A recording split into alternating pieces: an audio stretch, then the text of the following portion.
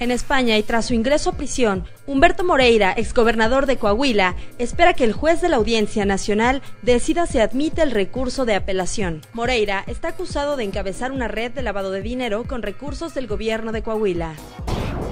El diario The New York Times informó que la última pista que llevó a dar con Joaquín Guzmán Loera, alias El Chapo, fue una enorme orden de tacos, en un artículo, el rotativo afirmó que los tacos fueron recogidos por un hombre que manejaba un vehículo identificado como uno de los lugartenientes del Chapo.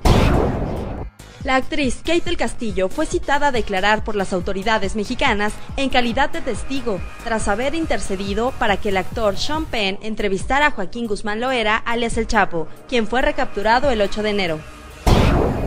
En Colima, la alianza PRI, Verde Ecologista y Panal, encabezada por Ignacio Peralta, aventaja en las elecciones extraordinarias a la gobernatura.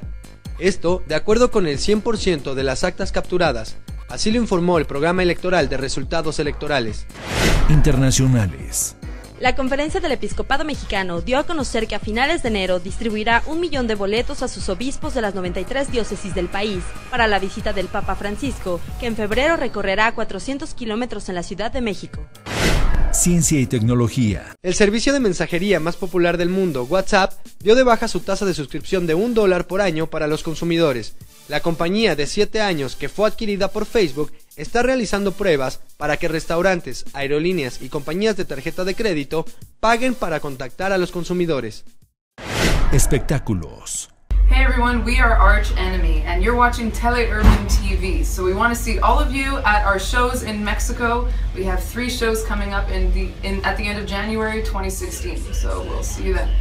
La banda de death metal melódico Arch Enemy cerrará su gira por México el 30 de enero en el pabellón oeste del Palacio de los Deportes.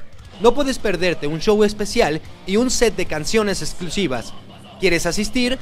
Demuéstranos qué tan fan eres y envíanos un correo a gana.teleurban.tv y dinos por qué deberías estar ahí.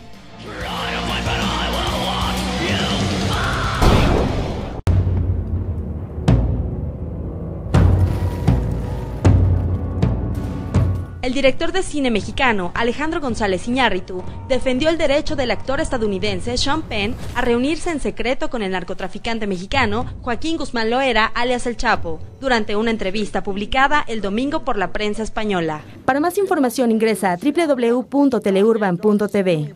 Informaron para Teleurban Giovanna Nieto y Eduardo Molina.